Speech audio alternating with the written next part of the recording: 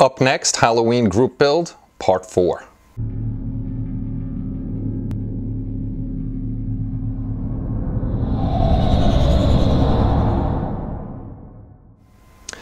Hey everybody, it's Kenny Conklin from SciFiAntasy.com and welcome to another Modelers Tube video.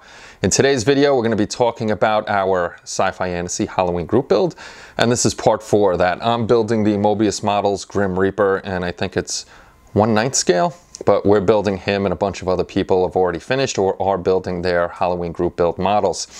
There's still plenty of time to get into the group build if you want to build with us. Just go over to sci-fiantasy.com, which is right over here. Sign up at the site and join the group and build away. So we'll have a bunch of cool builds. There's actually some that are already done and really, really nice. So I guess that's enough yammering out of me. Let's get over to the bench and check out what we got going on. So let's show you what we've been up to on the Grim Reaper kit. We got them all seamed up, primed and painted.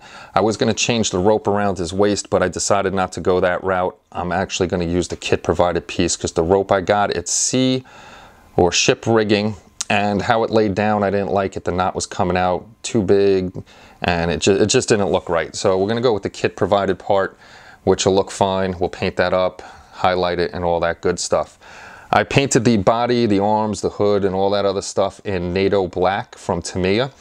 I kind of like this color better than regular flat black. The flat black to me is just very, very dark. And this one is more of a blackish gray, and it kind of looks more like cloth. The flat black looks good, but I prefer this color over that. So we went with the NATO flat black on everything, and it's actually going to be easier to get in the creases with a darker color and let that stand out more then with just regular black, you really couldn't get in there to make anything darker and bring out the creases and everything in his tunic or whatever you call this thing that he's wearing. So let's show you a couple more parts on what we're doing with him. Here's one of his arms. Again, it's the NATO flat black and we're gonna get in all those creases and get that darkened up. This way you can see the folds and everything in there. And of course he has no legs, he just has two arms and that we're gonna paint dark in here to give it the shadow effect. Just like you can see now it's dark, we're just gonna make it darker so you really can't see anything inside his arms. He's all seamed up, no more seams on his arms or anything like that. Now it's just to get the creases darkened up and get a little more effect on there.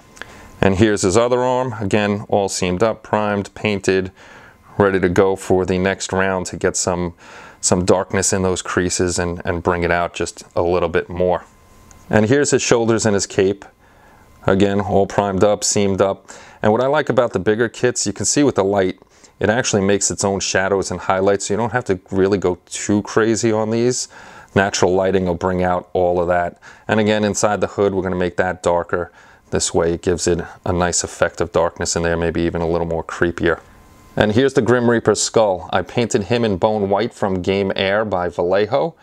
And then we used Vallejo wash. It's an umber wash. I just dropped a whole bunch in his eye sockets and let that dry nice and dark. And the same thing over here. And then I wiped it all down. He's got a little gash in his forehead there that also took the wash in there. And then it's hard to see. I lightened up the Game Air Bone White with a little bit of Vallejo White and above his eyebrow bones here we highlighted that a little on his cheekbones, definitely on the tip of his nose and some down here on his chin just to give him a little bit more highlights. And then we're gonna slap him in the hood once we get that all done and hopefully it looks well. Ooh.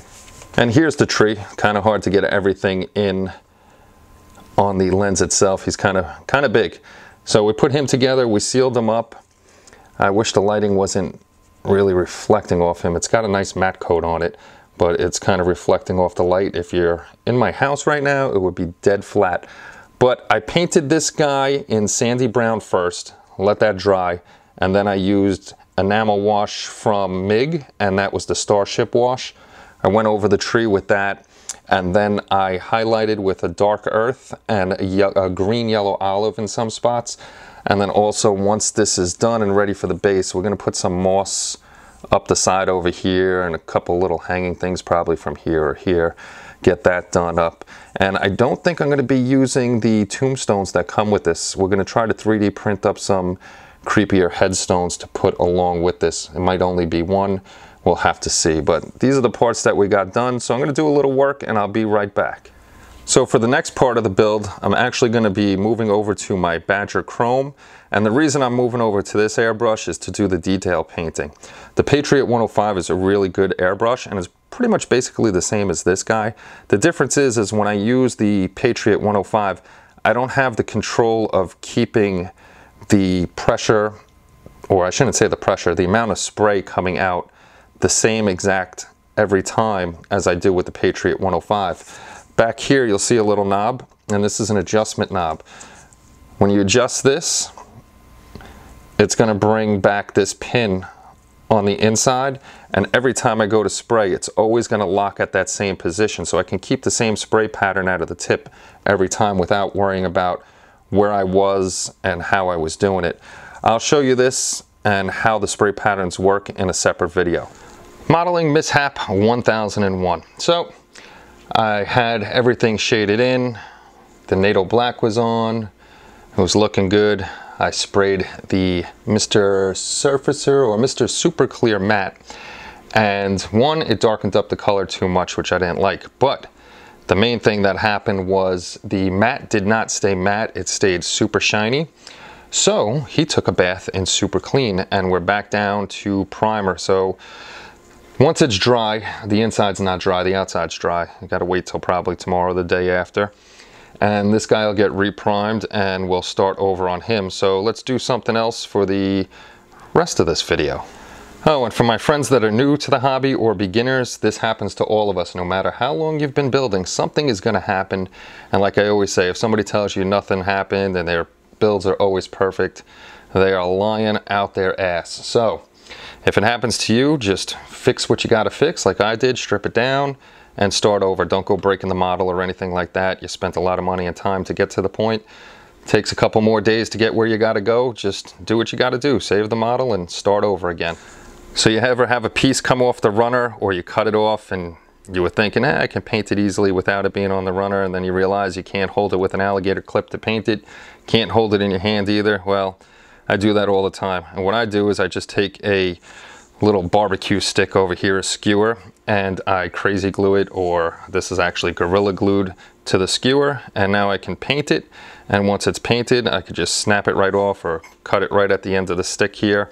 And we got a painted piece without having to hold it in our hands or find a crazy way to do it and probably mess it up and have to clean it off like I usually do. But now this is an easy way I can prime it.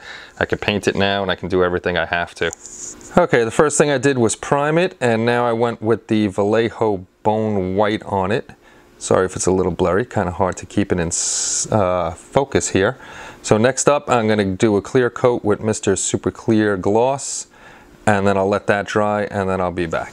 And after the gloss coat, now his hand is all washed up with Vallejo Umber Wash. All right, here's the hand all done up. The wash is taken off, put the highlights on his knuckles.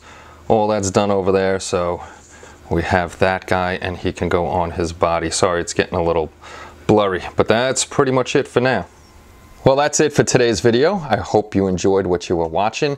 And if you haven't yet, please come over to Modeler's Tube right here sign up, start posting your videos. We've got a bunch of people over there. We got uh, almost 200 registered members and over 700 videos already either linked in from another third-party site or uploaded to the site. So come over, join the community, have a good time, and let everybody see what you're doing. As always, if you have any questions or comments, throw them in the comments section below, and I will get back to you as quickly as I can. So thanks again, everybody, for stopping by. Take care, and bye-bye.